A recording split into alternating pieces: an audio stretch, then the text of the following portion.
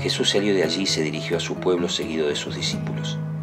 Cuando llegó el sábado, comenzó a enseñar en la sinagoga y la multitud que lo escuchaba estaba asombrado y decía, ¿de dónde saca todo esto? ¿Qué sabiduría es esa que le ha sido dada y esos grandes milagros que se realizan por sus manos? ¿No es acaso el carpintero, el hijo de María, hermano de Santiago, de José, de Judas y de Simón?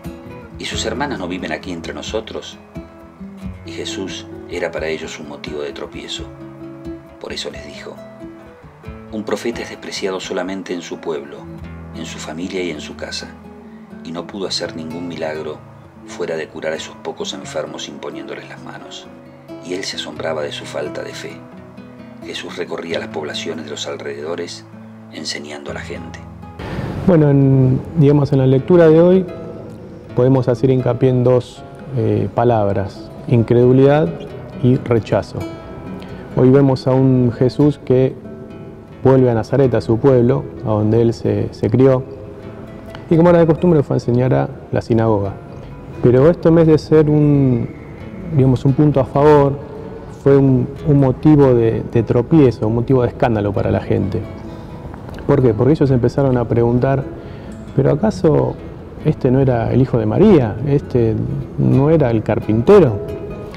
La falta de fe de la gente los hizo incapaces de poder ver en Jesús a el Hijo de Dios que estaba haciendo cumplir las Escrituras en ese mismo momento, ahí. A Jesús lo rechazaron, ¿sí? de hecho él se fue de Nazaret y antes de irse les dijo, eh, ningún profeta es bien recibido en su pueblo, en su casa y en su familia. Y no hizo ningún milagro allí, porque Jesús hacía milagros para la gente que tenía fe. Y se fue a otro pueblo ahí de la periferia a enseñar. A menudo a nosotros nos ocurre que, también nos podemos sentir rechazados y eso duele muchísimo más cuando ese rechazo viene eh, de parte de gente muy cercana a nosotros, de, nuestra familia, de nuestro círculo íntimo, nuestro metro cuadrado, como le decimos. Eso duele muchísimo más. Pero bueno, tenemos que seguir el ejemplo de Jesús y darle para adelante.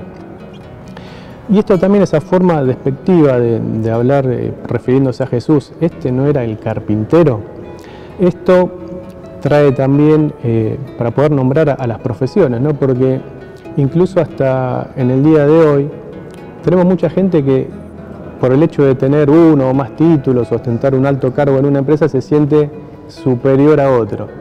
Y sin embargo Jesús nos dio el ejemplo de que siendo Él el Hijo de Dios y pudiéndose poner por encima de todo, se agachó y nos lavó los pies.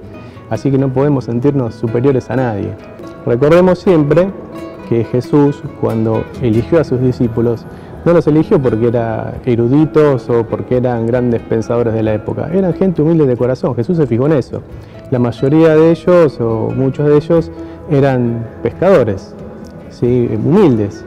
Y sin embargo, estos humildes pescadores terminaron siendo los pescadores de hombres más grandes de nuestra historia.